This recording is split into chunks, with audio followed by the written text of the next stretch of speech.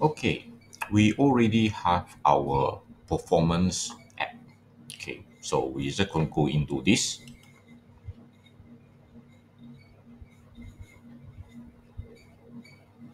All right.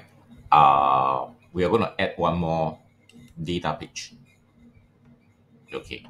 So previously I created this, which is the web form. This is to key in, but this is what we want to do today, which is basically to have a search and report. So we key in something. So now we want to be able to retrieve it.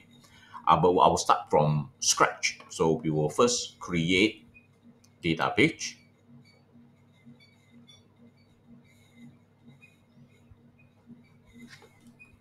All right.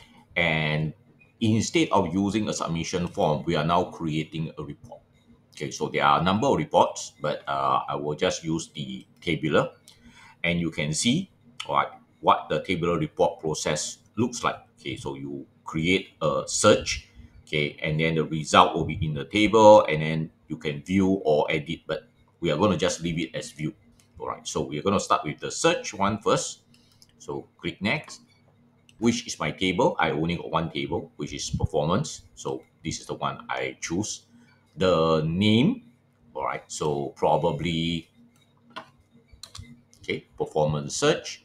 Uh, localization, I'll leave it to English. You can set the style, all right. Uh, this is public, so there is no restriction.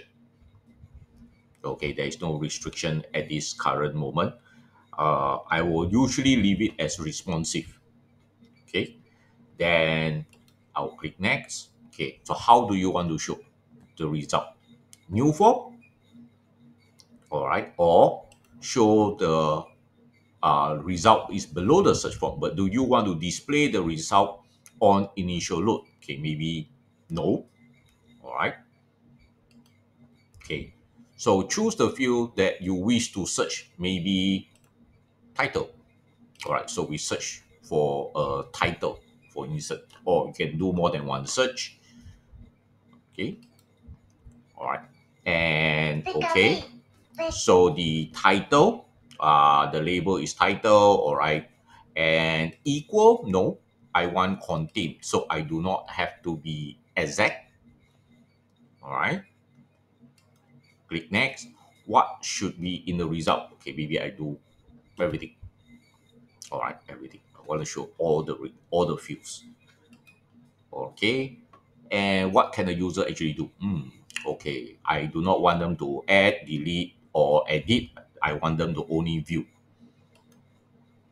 All right, and of course, for each of the field, I can change the label. I can render the uh, value and so forth. All right, so you can play around with this. We're not going to do any changes right now.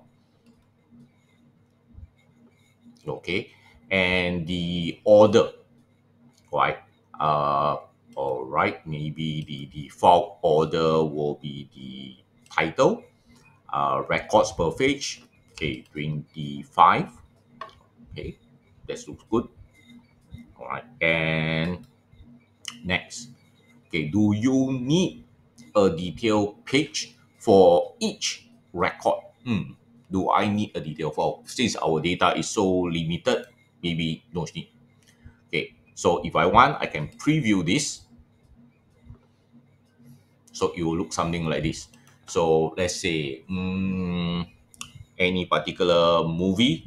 Uh, okay, let's say F R O Z E N. I think I should have this.